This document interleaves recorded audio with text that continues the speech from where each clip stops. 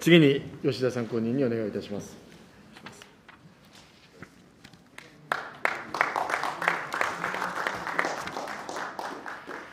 3人のあの大学の研究者に挟まれまして、一体私は何者だろうと自分でもちょっと思ったんでございますが、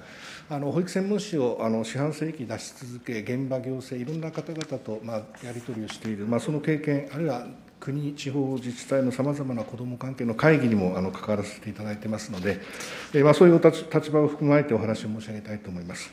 で、えー、本日の案件については、まあ、秋田先生の方からかなりあの詳細に、えー、正確な話をいただきましたので、まあ、少し視点を変えて、えー、この児童手当、あるいは子ども子育て支援の問題を少しマクロな視点で整理をした上で、あの今日の案件に対する意見を2つほど申し上げたいと思います。え、まあ、社会に説法でございますが、そもそもこの子ども子育て支援新制度というのは、税と社会保障一体改革の中で誕生しまして、いわゆる全世代対応型の社会保障ということで、消費税財源から7000億円を入れる。それから社会全体が支援するということで、まあ、企業等の事業主拠出金というところから、まあ、7100億円ぐらいが今入っていると。えーまあ、その中から児童手当、今般の問題の児童手当、あるいは3歳未満児の保育、あるいは企業指導型保育というものに使われております。で先ほどもお話ございましたように、まあ、そもそもこの新制度スタートの時には、1兆円を超えるような新たな財源を追加をして、質量ともにしっかり進めるという大前提でございましたが、まあ、7000億円については消費税から入りましたが、残り3000億がいまだ実現をしていない、まあ、この3000億円で本当は量だけでなく、より質の改善につなげるということであったわけですが、まだこれが実現をしていないと。いうことでございます。まあ、その意味では、まあ、OECD 加盟諸国、先進国の中で、相当ここ数年、日本の子ども財源、膨らんできたとは思いますが、ぜひとも世界に胸を張れるような一層の子ども財源の拡充をしていただきたい、まずこれが大前提だということでございます。まあ、さあさりながらコロナ禍の下で、まあ、歳出がかなり膨らみ、まあ、歳入も厳しくなるだろうという厳しい財政事情の中で、まあ、今般の児童手当等の改正という話になったわけでございます。したがって、本来であれば、おそらく誰一人特例給付等廃止はしたくない、まあもう与野党の先生方問わずに、むしろ増やしたいということだと思いますが、しかし残念ながら、限られた財源の中で、これをどう有効に、あるいは効果的に使うのかというところで、ぜひあの意見の調整をいただきたいと考えております。そのためには、児童手当ということだけで特化して議論したので、おそらく答えは出ないのではないか。つまり、子ども・子育ての関係施策というのは、いわば総合的に、あるいは包括的に、あるいはパッケージのような形で成果を出すことを考えるのが私は筋だと思っておりますので、その意味で2つの視点で申し上げたいと思います。まあ、今日の資料はあのいろいろごちゃごちゃ書いてございますが、まあ、ご参考にしていただきたい。でえ、その中でも大きく取り上げていますが、一つは部分最適の発想ではなく、全体最適の発想が、子ども・子育て支援政策においても重要であろう。もちろん児童手当そのものも非常に重要ですけれども、そのことだけでおそらく答えは出ないのではないか。さまざまな多様な施策の総合化、包括化が必要だと。あるいは言い換えれば、児童手当をはじめとした、まあ、育児休業給付もそうでしょうが、現金給付と、それから幼児教育、保育、あるいは子育て支援のような現物給付の組み合わせ、バランス、これをどう考えるかということだと思います。まあ、その点で言えば、まあ、今回の特例給付の廃止ということは、まあ、残念なことではございますが、一方で、2年前に行われた幼児教育、保育の無償化によって、すべての世帯収入の家庭が無償化をされましたが、まあ、結果的には、保育料を考えれば、比較的高所得層の方が無償化の金額的に大きかった。まあ、それを合わせ技ということは適当じゃないかもしれませんが、児童手当と無償化を重ねて考えると、特例給付の、やむない、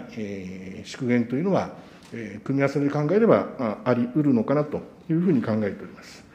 え、そして、え、今日の資料で唯一使う資料は最後から2枚目でございますね。え、2つのデータを出してございます。え、7ページ目と8ページ目。え、これは今年1月中旬ぐらいでしたか。日本協会の石川県支部の方で国際的なことをやりたいという依頼がありまして、あの先ほど、秋田先生にも大変ご協力いただきましたが、オックスフォード大学のエドワード・メリッシュという、大変あの政府政策にも関わっている先生に、オンラインでつないで、いろんな話とやり取りをさせていただきました。ま、その中の資料の一部ということになります。8ページ目の資料をご覧いただくと、もうこれ一目瞭然、もちろん日本とイギリスでは状況違いますから、イコールにはなりませんが、ご覧いただいたとおり、子どものいる家庭の収入状況によって、子どもの発達状況がどうか、これ、グラフが低い方がいいわけですね。発達支援率ですから、これは低い方がいいということなんですが、やはり貧困層、あるいは平均より以下の世帯の方が残念ながら、子どもの育ちにいろいろ問題を生じている。まあ、言い換えれば、所得が高い家庭ほど、やっぱりそこはいいんだということが如実に伺います。言い換えれば、児童手当等の現金給付がより効果を発揮するのは、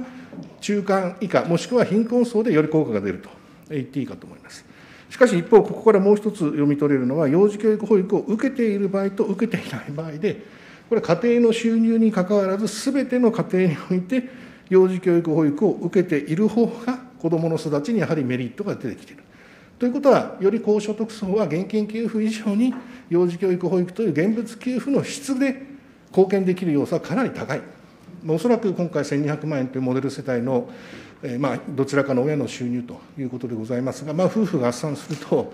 まあ、おそらくもっと多い、1500万、2000万の家庭もあるでしょう。まあ、その家庭が月5000円もらうということで、いや、5000円はなくなりますが、あなたのお子さんの幼児教育保育、あるいは小中学校の教育環境が非常に良くなって、あなたのお子さんの育ちに、えー、よいろいろ整備されるんですよと、そっちにも回るんですよということの方が、おそらく理解していただける家庭は多いのではないか。まあ、極論ですけども、私は実はそのように考えております。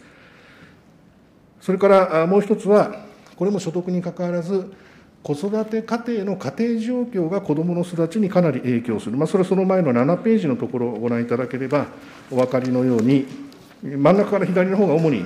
家庭の状況ですね、世帯の収入であったり、親の学歴であったり、社会経済的地位であったり、家庭学習環境であったり、これ、かなり子どもの、まあ、11歳時点ですけれども、読み書き算に大きく影響していると。いうこと。じゃあ、ここの家庭がどんな家庭でも豊かな家庭環境になるように、多様な手厚い子育て支援という現物給付を提供することが、おそらく相当有効だろう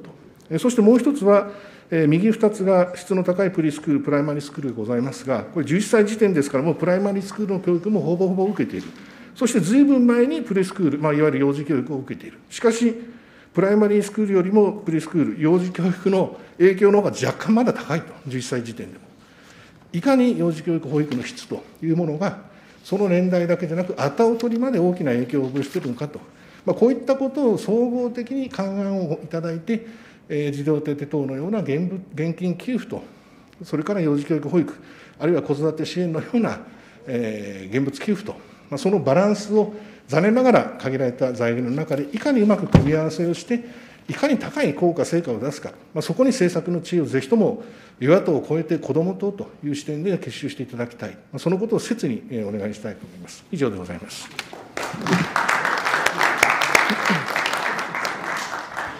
ありがとうございました、えー、次に伊藤参考人